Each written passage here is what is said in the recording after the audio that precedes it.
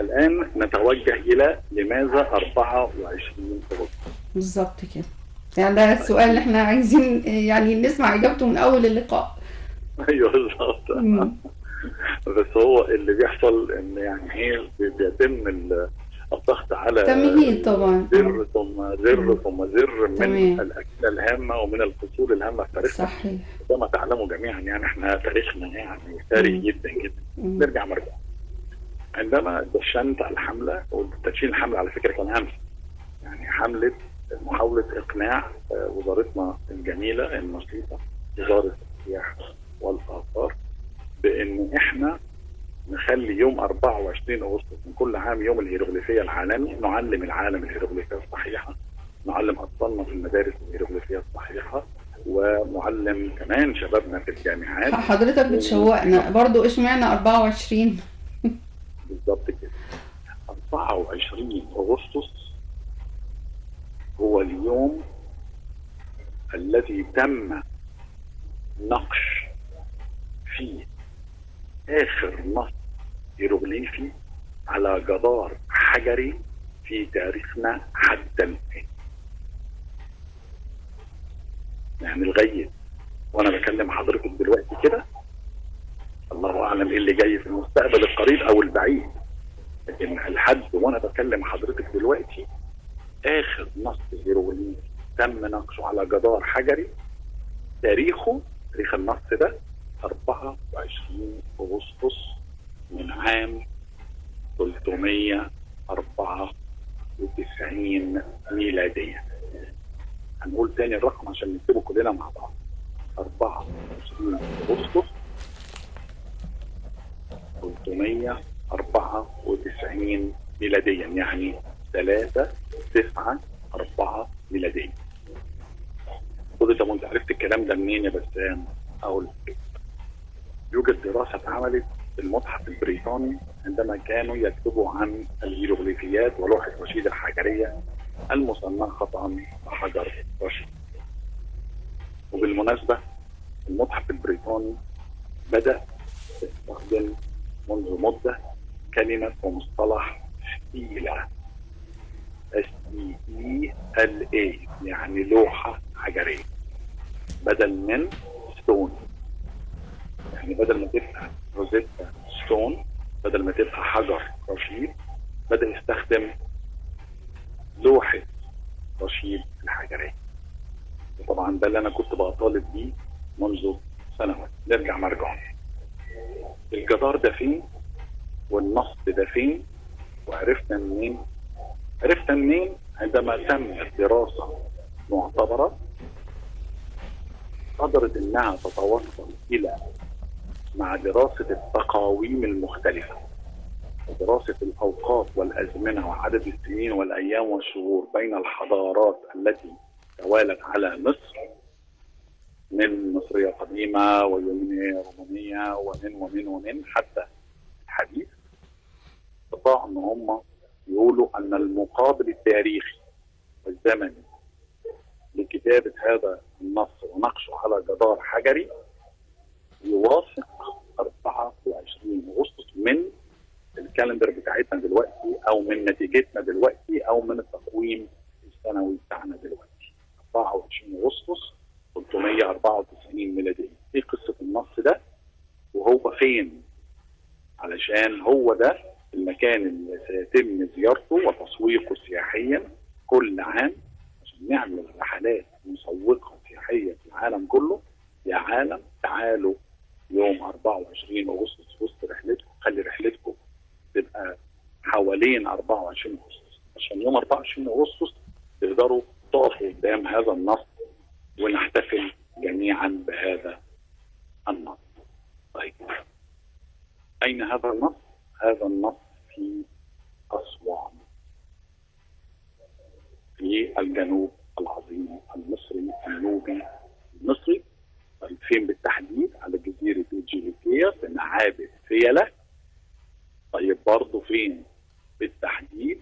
هذا النص هو كائن على حائط بوابة الإمبراطور الروماني ادريان اللي إحنا بنسميه في اللغة العربية ادريان ادريان ادريان إمبراطور شهير في الروماني في وقت احتلال الرومان لمصر هو حكم حتى عام 138 ميلادية.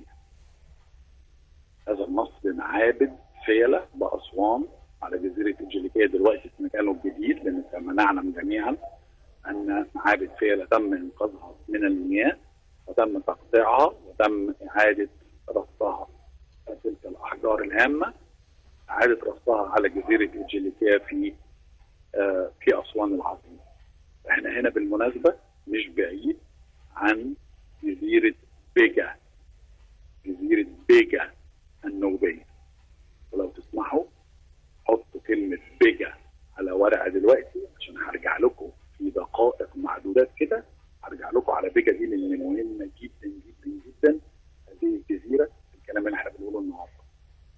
طيب تمام ادريان مشهور بإيه؟ آه ادريان الامبراطور ده مشهور بحاجتين مشهور ببنائه للأسوار ولذلك في أوروبا في حاجة اسمها Hadrian Wall أو حائط هدريان مم. آه هو مشهور بكده مشهور إن هو كان بيبني أسوار. طبعا البناء هنا له أسباب عسكرية وله أسباب حروب ونزال عسكري ومو... ومواقع عسكرية وكذا وكذا. وتاني حاجة بتشهره في مصر إنه ليه بوابة حجرية باقية في معابد فيلة تم تشييدها في معابد فيلة اللي بتحوي كما نعلم جميعا أسماء مصرية قديمة وأسماء فطلميه يونانية اغريقيه وأسماء أيضا رومانية ومنها الامبراطور ادريان والامبراطور تريجن أو تراجان كلكم وأنتم داخلين على معابد فيلة أو وأنتم مغادرين بالمركب ال motor boat أو المركب بالموتور هتلاقوا في كشك تريجن أو كشك تراجان أو Trajan Kiosk بالانجليزي وهنا ده معبد لكن يطلق عليه كشك. معبد ضخم جدا ليه؟ بأعمدة رائعة الجمال. طيب نرجع مرجوعنا للنص. هذا النص بالظبط عايزين نعرف. إيه النص بيقول إيه؟ و... أيوه. عرفنا تاريخه دلوقتي. هو نص مش طويل على فكرة. عرفنا تاريخه من حضرتك. ناقص نعرف النص محتوى النص يعني. تمام. آه، نحاول إن إحنا يعني ننهي كلامنا النهارده عن آه، 24 أغسطس وهذا النص الجميل بقراءة سريعة لنص قصير جدا ولكنه هام جدا. يقول النص أمام مندولس أمام مندولس مندولس ده معبود نوبي. معبود أسطوري نوبي. مندولس أمام مندولس هو اللي كاتب الكلام ده يقول لك أنا يعني أمام مندولس أمام المعبود. ابن حورس يبقى أمام مندولس ابن حورس بيد يعني النص ده مكتوب بيد نسمتر أخم. نسمتر أخم بالميم. ده ده اسمه. ابن نسمتر بيقول لك بابايا اسمه إيه يعني؟ اللي كاتب النص ده بيقول لك والده اسمه إيه؟ اسمه نسمتر يعني هو على اسم والده. هو على ما يبدو إن ده الكاهن ده كاتب النص ده هو اتسمى على اسم والده لأن هو اللي كاتب النص. اسمه نسمتر أخم. هو باباه اسمه نسمتر الكاهن الثاني ده ده رجعنا له تاني. الكاهن الثاني لإيزيس لإيزيس الكاهن الثاني للمعبودة الشهيرة المصرية إيزيس وإحنا عارفين طبعا إيزيس بتتألق في الجنوب في أكثر من مكان زي فيلة وغيرها. لكل الزمن والأبدية. لكل الزمن والأبدية. النص بيقول آخر حاجة في النص كلمات نطقت بواسطة مندولس رب أباتون المعبود العظيم. فاضل إن إحنا نعرف يعني إيه أباتون. معبود أباتون دي ولا رب أباتون؟ ده المعبود العظيم ده. مين أباتون ده ويعني إيه أباتون؟ دي تسمية جديدة إحنا أول مرة نسمعها. أباتون ده يا جماعة هو مكان بيتكتب حتى بالإنجليزي A B A T O N أباتون. هو مكان دفن وسير. هو مكان دفن وسير الرمز. وسير اللي هو ازوريس يبقى المكان اللي اتدفن فيه رمزيا ازوريس المعبود الأسطوري أطلق عليه في ذلك النص أباتون. ده على فكرة على جزيرة بيجا. ده أنا تاني أهو عشان قلت لكم هقول لكم حاجة مهمة على جزيرة بيجا. جزيرة بيجا يا جماعة مجاورة للي ما راحش أسوان. جزيرة بيجا مجاورة لمعابد فيلة. نقول آخر حاجة ننهي بيها النص كله على بعضه أمام مندولة ابن حورس بيد نسمتر أخم ابن نسمتر الكاهن الثاني لإيسات لكل الزمن والأبدية كلمات نطقت بواسطة مندولس رب أباتون المعبود. العظيم ده ال- اللي موجود. على الحجر.